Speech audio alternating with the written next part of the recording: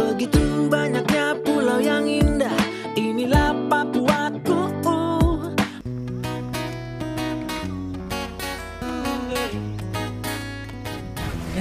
Di tengah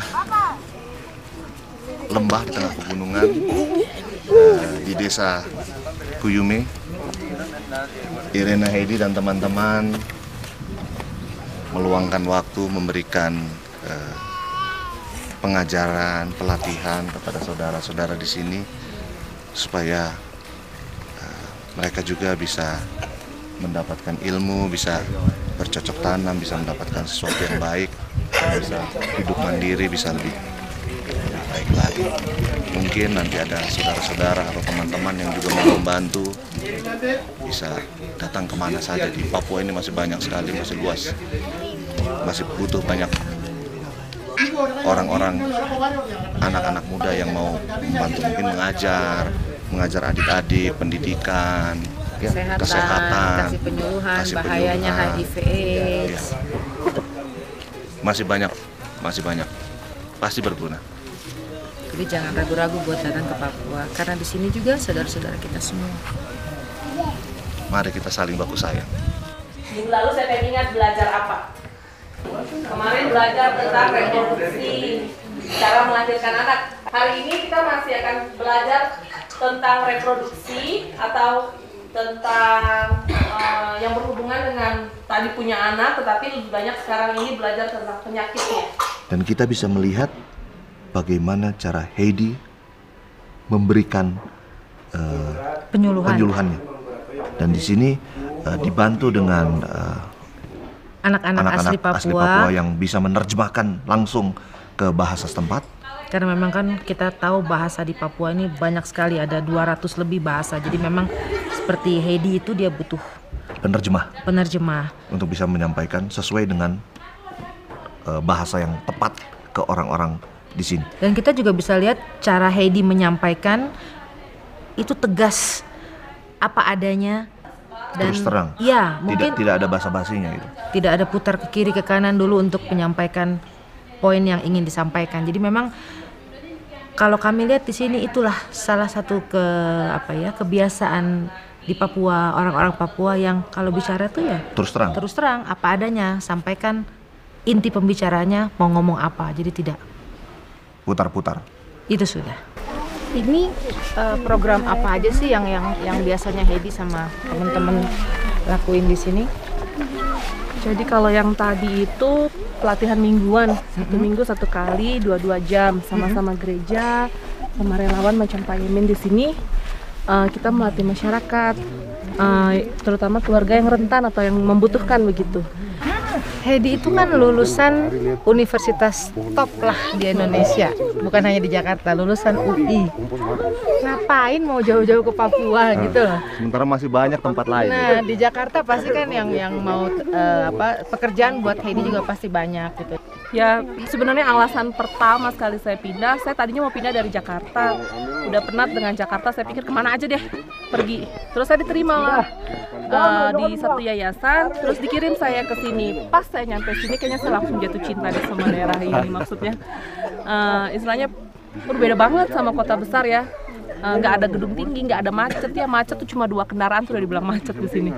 Istilahnya sesuatu yang beda yang bikin saya lebih damai kayaknya hidup di sini lebih lebih lebih apa ya lebih tenang begitu. Itu yang akhirnya saya pikir ehm, ya mungkin ini memang sudah panggilan saya. Istilahnya saya memang dipanggil keluar dari Jakarta untuk ke sini begitu. Jadi saya menetap. Tadi Heidi bilang Heidi pertama kali datang langsung jatuh cinta. Padahal Heidi perempuan, biasanya perempuan tuh kalau mau merantau jauh-jauh dari Jakarta, apalagi kota metropolitan ke Papua kan pasti nomor satu takut dulu, ya kan, udah jauh. Kemudian sendiri kan, pasti pertama datang sendiri dong. Sendiri. Yang bikin jatuh cinta apa sih sama Papua? Em, mungkin eh, laki-laki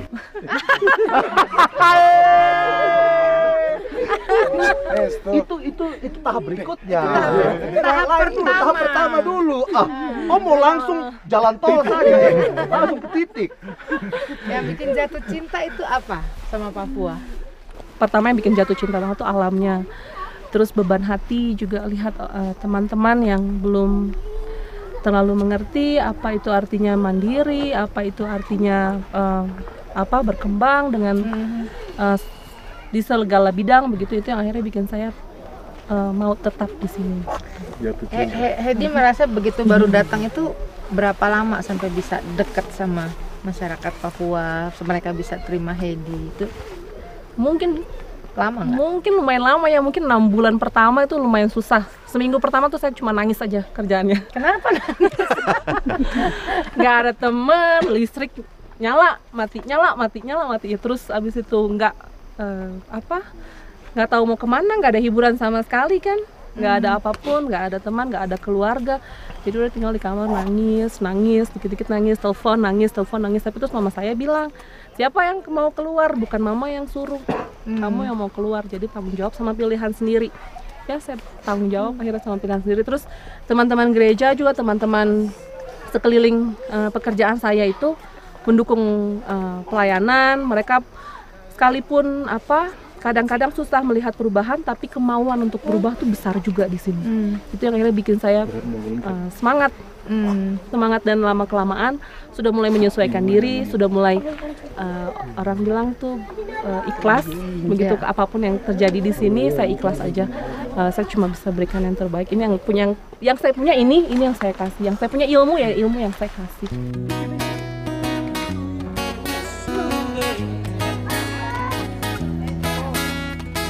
Oh Papua dalam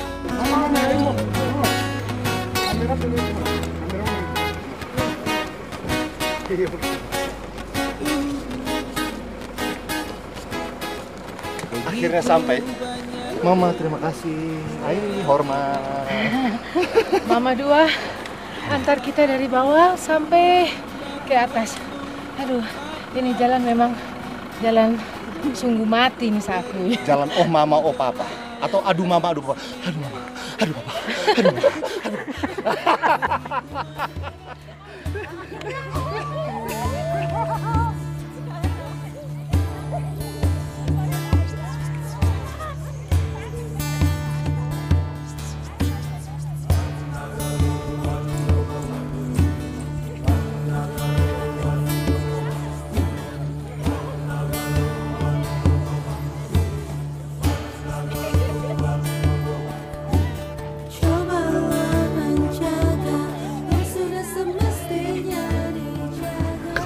Katanya capek tadi.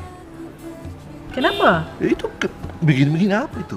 Kasihan tuh mama-mama dorang dia su antar kita jauh jalan dari Kuyume itu terus jalan kaki naik sampai ke atas. Itulah tapi hebatnya mama-mama dan orang Papua mereka punya kebiasaan untuk kalau mereka menghargai tamu yang datang, mereka senang, mereka berterima kasih itu mereka antar biarpun jauh-jauh mereka jalan terus mereka pimpin di depan sampai ke atas. Jadi saya menari toh, Iya, sayang dengan mama-mama. lebih dekat, lebih erat.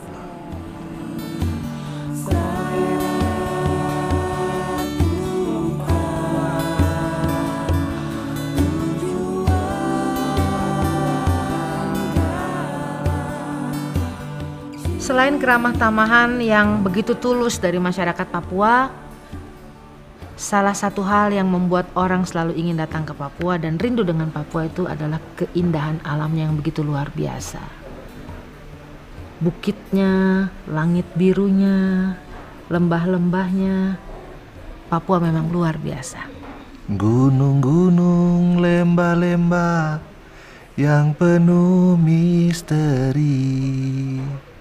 Kau kupuja selalu keindahan alammu yang mempesona. Lebih dekat, lebih erat. Alenia's Journey Uncover Papua.